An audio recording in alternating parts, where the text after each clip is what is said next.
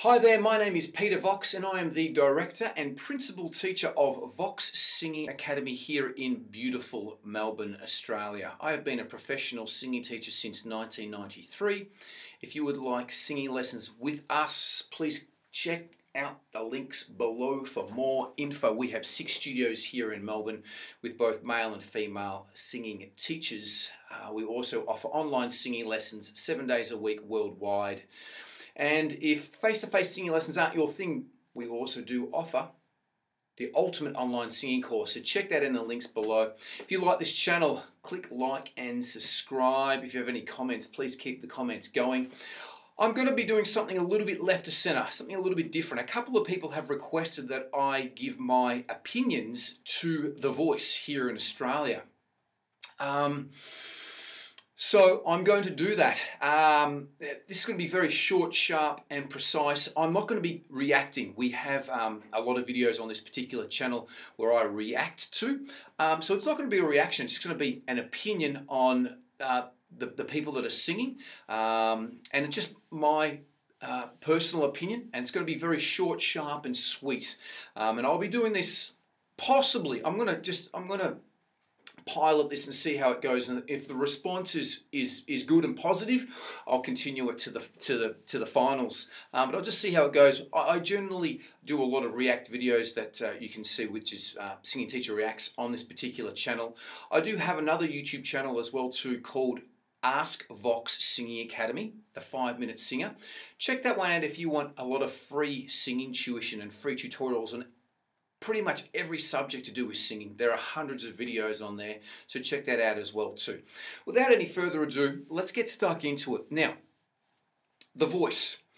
It is season 10 of The Voice here in Australia. Um, so this is the 10th uh, year that it has been running. Um, and this is episode one. There will be three episodes here. Uh, and episode one ran on Sunday, the 8th of April, which was last Sunday and it was the first night of the blind auditions. Uh, so the blind auditions basically are where the four judges, which this year are Keith Urban, the amazing country Australian legend, um, absolutely amazing, obviously bigger in America than what he's, he's in here in Australia the um, very amazing R&B, now nearly sort of going into a lot of dance stuff, uh, or dancier stuff, guy, Sebastian, um, who actually got his break in Australian Idol uh, many, many moons ago. Um, Jess Mauboy uh, very soulful uh, Jess Mauboy and also the lovely um, UK artist Rita Ora. Uh, again, another beautiful, soulful voice as well too. So they're the four judges.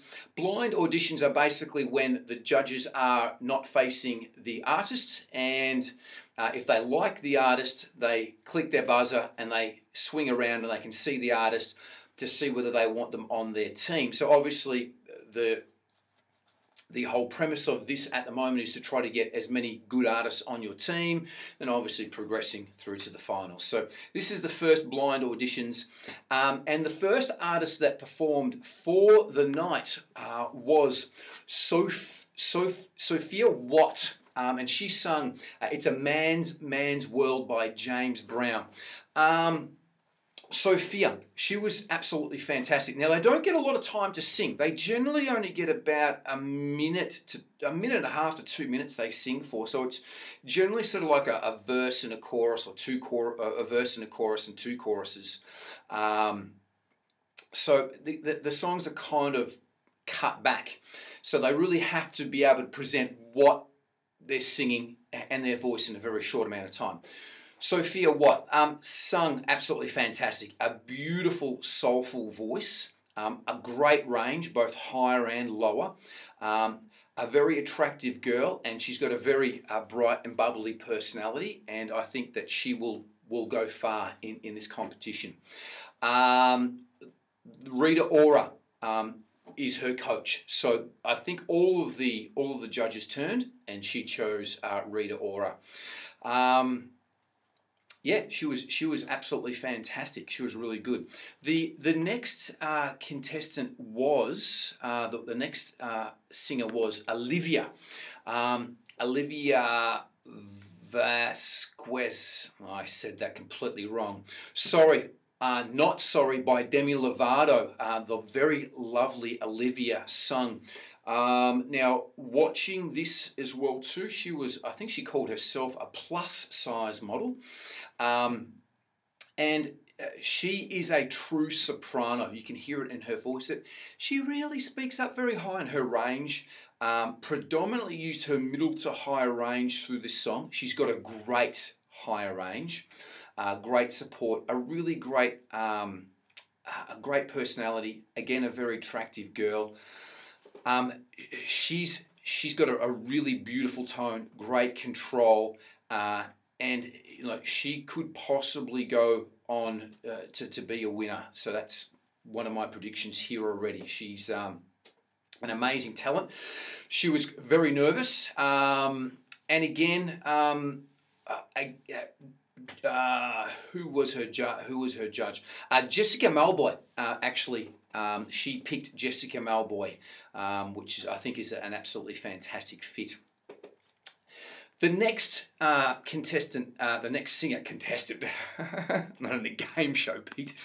The next contestant um, is is quite close to my heart here.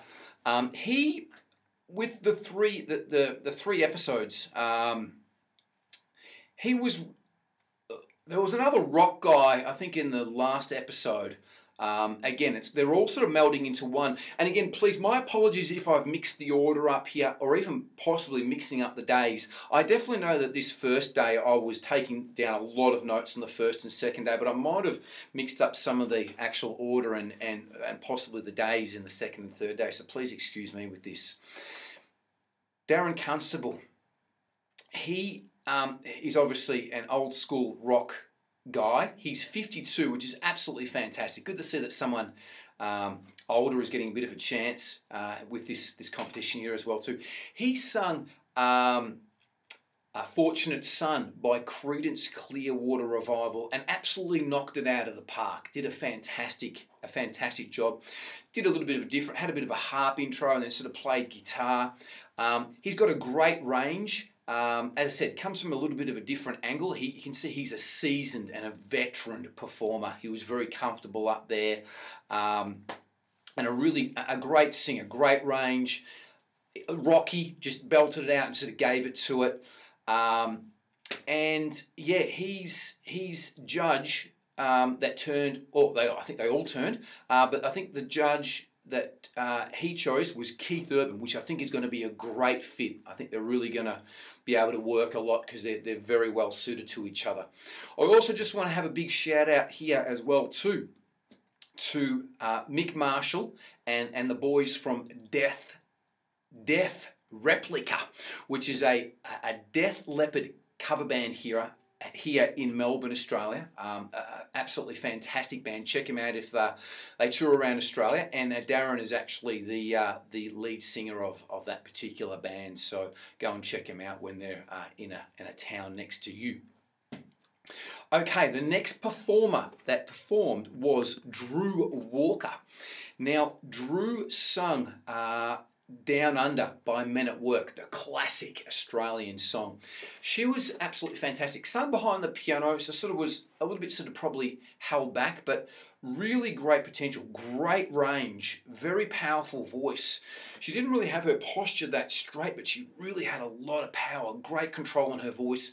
Um, very nice looking girl. Um, should go far in this competition if she can get her uh, confidence up. I thought that she was absolutely fan fantastic as well too.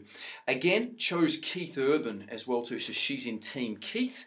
Um, yeah, absolutely. She was she was really great. Um, a lot of um, a lot of potential. We'd really like to see her mouth work more, especially laterally. I think she's got a lot of potential to possibly go deep into this if she gets her mouth working and polishes some of her skills. The next uh, performer was uh, Joey Chan, and she was just a, a pocket rocket. She was a live wire, and it was really fun watching her perform.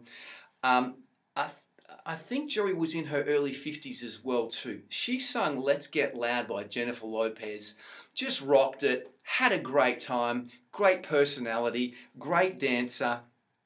Um, she's got a she had a nice voice. She stayed in tune. She had a, a, really nice, beautiful tone. I was waiting for her to do something a little bit different with the song, possibly have a key change or do some fancy notes. But she really just kind of played it straight and just sung the song the same. Um, and that's probably why none of the judges turned, unfortunately. Um, though I think that she, pardon me, would have an absolutely fantastic career being in a corporate band, um, doing corporate functions, or a cover band, doing more of the sort of upmarket, um, as I say, corporate functions and different different things like that, or, or upmarket um, venues, uh, pubs and clubs and things like that. Uh, she's absolutely fantastic, just just great. She'd be a great asset to anyone's band, and I hope, hopefully, that she has a, has some sort of career in the future and makes some money out of out of her singing because she definitely deserves it, and uh, just a, a, great personality. And I think she's going to be a great front woman in, in a band as well too, because people are going to feel really relaxed and resonate with her, and she's uh, yeah, she's great. Unfortunately, no judges turned. The next performer, Byron. Uh, Byron is a, is a young plumber, and he sung Lewis Capaldi Before You Go. Um, you can tell he was extremely nervous. A, a, very young man, I think he was only 18 or 19. Um, beautiful tone, uh, nearly sort of a feminine sort of tone. Great range, great control, very nervous, um, nicely in and out of falsetto shy personality, if he can get some confidence and get some good training and get his chops up, get his mouth working, I think he's going to go go a long way in his career, even in the future, if he doesn't go all the way through to the voice. Um, he chose um, uh, Team Sebastian, Guy Sebastian, so that's who, who he chose. The last performer that I'm going to go over here, I don't think was the last performer of the night, but this girl she was the one that has blown me away so far. And I said I've watched already the other series, the other two series as well too. This girl blew me away. Her name is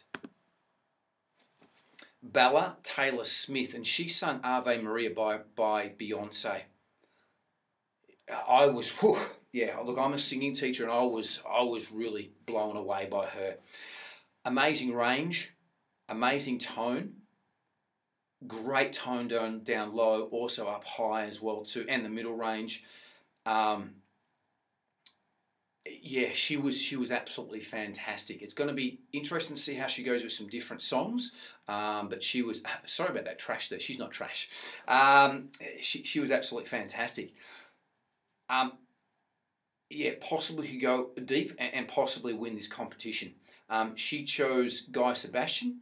Um, after Guy Sebastian blocked Jessica Mauboy. So a little bit of a dog act there by by the guy man, because um, I think she probably would have gone with uh, Jessica. Um, but anyway, that is my wrap up there for episode one of the blind auditions. If you like my reaction, if you have any comments, please put them in the comments below if you agree with what I've said or don't agree.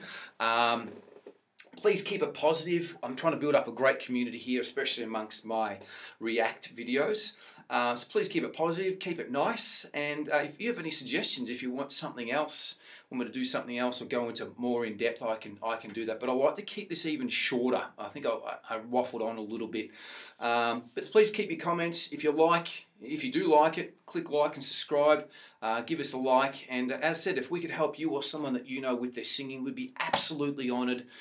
Vox Singing Academy has been established since 1993. Um, I'm 107 years old.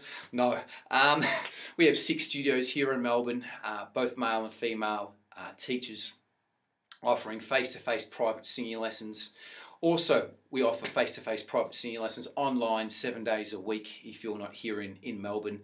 And if you're not wanting face-to-face lessons, we do offer the Ultimate Online Singing Course. Check out the links below for more info. Until the next video, be good to each other, enjoy your singing, and live every day like it's your last. Peace and much love.